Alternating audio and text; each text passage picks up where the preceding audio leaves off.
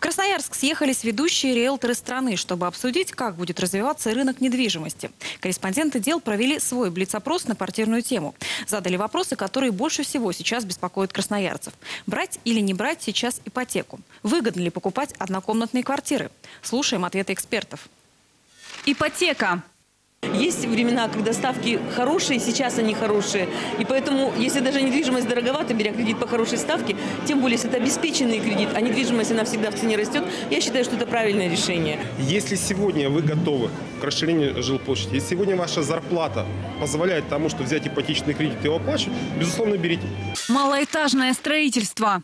Сейчас она никак не развивается, надо сказать, потому что вроде бы попытки есть строить малоэтажные поселки, но инфраструктурное решение просто отсутствует. Тем более у нас в Сибири. Малогабаритное жилье. Уже даже мы речь ведем не о однокомнатных квартирах, а о апартаментах.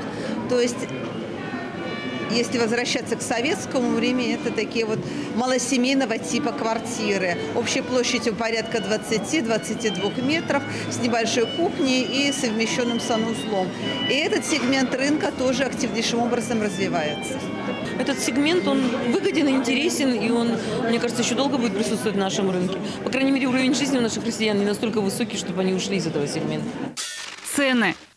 Спрос и предложение, да. У нас регулятор именно он, никто другой этого не регулирует. Если лю- любой потребитель или строительная компания вдруг поставит свою цену выше тренда, они останутся без кого? Без покупателя. Я бы назвал, что цена сегодняшнего на рынке недвижимости, она справедлива. А Красноярский край является территорией опережающего развития, поэтому совершенно нормально, что цены в вашем регионе на недвижимое имущество э, растут.